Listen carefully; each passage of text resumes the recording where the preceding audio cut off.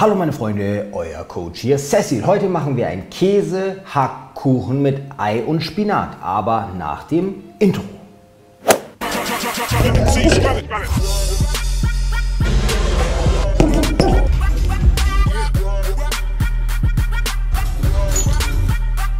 Also meine Freunde, heute machen wir ein ganz spezielles Gericht und zwar einen Käse-Hackkuchen mit Ei und Spinat, also was richtig deftiges, wovon man definitiv satt wird. Und bevor wir starten, ganz kurz einmal, wenn ihr das Interesse habt, euren Traumkörper zu erreichen, ohne jemals auf was zu verzichten, dann guckt die fünf kostenlosen Videos vom Maximum-Prinzip. Kein Abo, keine Kosten, kein gar nichts. Guckt einfach mal rein, weil da es ist 100% sicher, wenn ihr das guckt, dann wisst ihr, wie tausende Kunden es geschafft haben, ihren Traumkörper zu bekommen, ohne jemals auf was zu verzichten. Das erkläre ich da.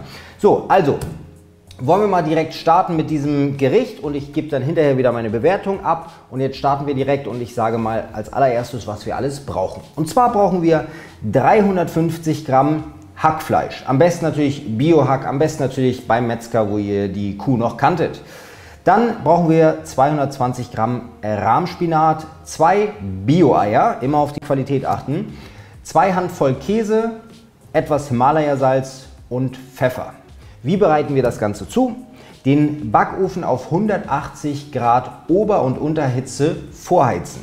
Das Fleisch mit Salz und Pfeffer würzen. Backpapier aufs Backblech, das Fleisch mit den Händen zu einem Nest formen die Hackfleischränder so hoch und dick genug formen, dass man das Hacknest gut befüllen kann und bei Bedarf noch mit Salz und Pfeffer bestreuen. Rahmspinat in einem Topf erwärmen, separat. Den Spinat dann in das Hacknest geben und eine kleine Mulde für die Eier formen, damit das nicht alles so an den Seiten rausläuft. Müsst ihr natürlich im Spinat so eine kleine Kuhle machen, damit da die Eier schön reinkommen können. Dann nochmal bei Bedarf nochmal würzen mit Salz, vielleicht nochmal mit Pfeffer hinterher und zuletzt mit Käse bestreuen und den Kuchen für circa 40 Minuten in den Backofen geben. Das war's. Eigentlich mega schnell gemacht. Jetzt ist aber die Frage, wie schmeckt der? Okay, wie viele Punkte gebe ich diesem Gericht auf einer Skala von 1 bis 10? Hmm. Sieben Punkte. Sieben Punkte kriegt dieses Gericht von mir.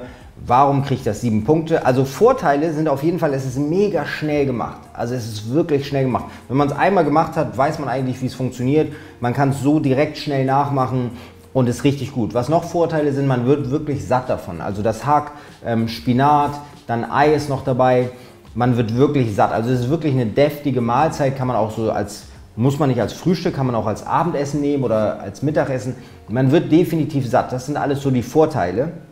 Nachteile für mich, warum es jetzt nicht 8, 9 oder bombastische 10 Punkte bekommen hat, ist, dass ich die Kombination zwischen Ei und Spinat jetzt nicht so mega geil finde, dass ich so sage, boah, ich muss immer Ei und Spinat zusammen essen und dann noch mit Hack dazu.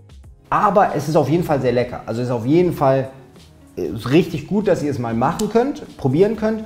Und vielleicht mögt ihr die Kombination ja viel lieber. Also wenn ihr sagt, ey, wieso Spinat und Ei schmeckt, was passt richtig geil zusammen, dann werdet ihr das auf jeden Fall richtig feiern. Also, macht es unbedingt mal nach. Schreibt dann unten rein, wie ihr es fandet. Ich freue mich natürlich auch immer, wenn ihr auf Instagram ein Foto macht und mich dann erwähnt, dann sehe ich das. Wenn mir das Foto richtig gut gefällt, dann kommt ihr als Repost in meine Story. Also auf jeden Fall auf Instagram folgen weil da besprechen wir ja mal, welche Gerichte wir haben wollen und so weiter. Also wenn ihr mir nicht auf Instagram folgt, ist es auf jeden Fall ein Verlust, weil da seid ihr praktisch direkt dabei. Und ich bespreche da so viel mit euch, Umfragen, was ihr sehen wollt auf YouTube und so. Deswegen unbedingt da folgen. Schreibt mir unbedingt in die Kommentare, wie ihr das gefunden habt, was ihr dem Gericht geben würdet auf einer Skala von 1 bis 10, ob ihr noch Ideen habt, was ihr noch dazu macht oder wegmacht. Schreibt einfach mal unten rein. Und ich glaube, das war's für heute. Rasiert natürlich den Like-Button und teilt natürlich das Video und abonniert natürlich den Kanal, damit ihr bei den nächsten Videos auch immer sofort am Start seid. Okay, das war's für heute. Ich hoffe, es hat euch gefallen. Bis bald, euer Coach Cecil. Are you listening? Damn.